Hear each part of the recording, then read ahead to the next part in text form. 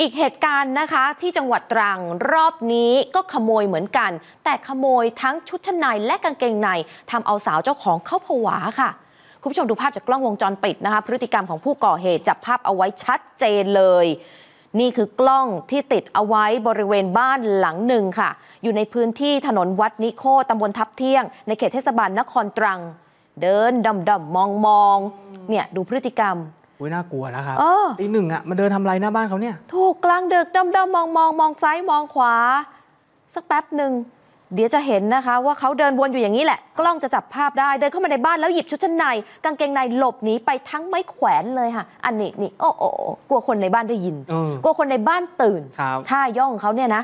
บ้านหลังนี้ค่ะ คุณเกวรินสงรักษาอายุ 30 ปี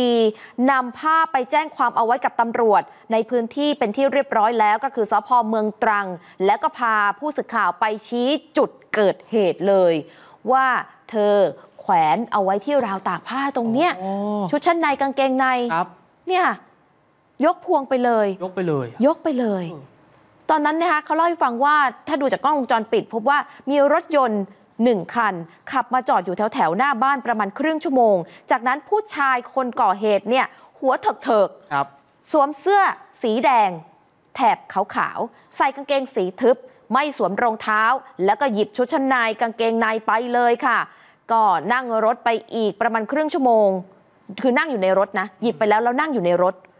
แล้วก็ขับรถหนีไป ตอนนั้นเขายอมรับนะคะว่าเขารู้สึกกลัว ก็เลยนำภาพกล้องวงจรปิดไปแจ้งความกับตำรวจค่ะ เป็นที่เรียบร้อยแล้ว อยากจะให้ตำรวจเร่งติดตามตัว คนร้ายหัวเถิกรายนี้ให้ได้โดยเร็ว เพราะว่าถ้ากลับมาก่อเหตุกับบ้านเธออีก หรือหลังอื่น ๆ ในระแวกนี้อีก